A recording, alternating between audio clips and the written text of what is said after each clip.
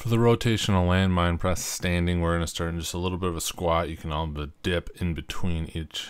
rep, but you're going to initiate moving the barbell up with your arm closest to the barbell and to the rack, the left arm in this video, and then transition to pressing the rest of the barbell up with the opposite arm, in this case, the right arm. This is one that you can get a little heavier with to use that